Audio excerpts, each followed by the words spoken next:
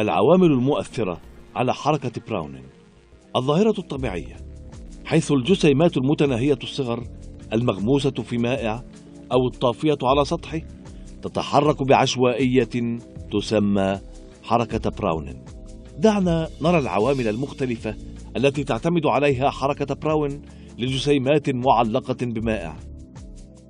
كلما زاد حجم الجسيم فإن حركة براون الخاصة به تتناقص. على العكس. إذا قل حجم الجسيم فإن حركة براون الموضحة بواسطة هذه الجسيمات سوف تكون أكثر.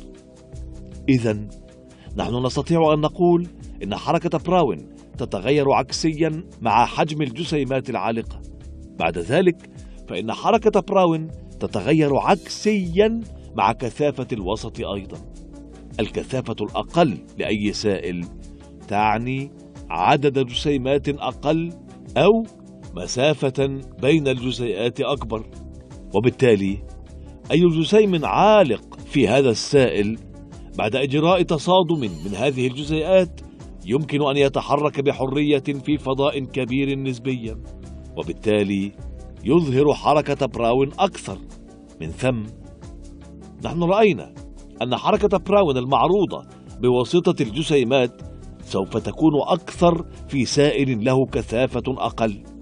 بينما ستكون أقل في سائل أكثر كثافة نتيجة وجود عدد أكبر من الجزيئات في السائل أو بعبارة أخرى مسافة أقل بين الجزيئات.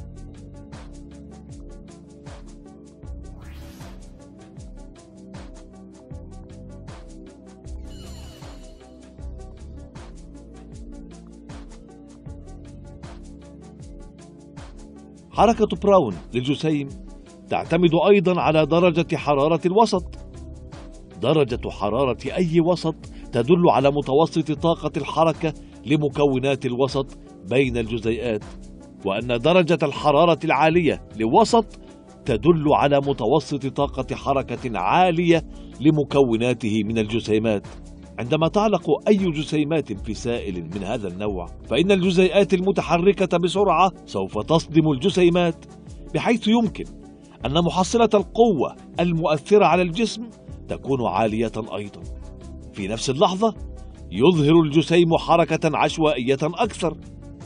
من ناحية أخرى إذا كانت درجة الحرارة الخاصة بالسائل منخفضة إذا فإن محصلة القوة المؤثرة على الجسيمات العالقة تكون منخفضة وتظهر حركة براون أقل.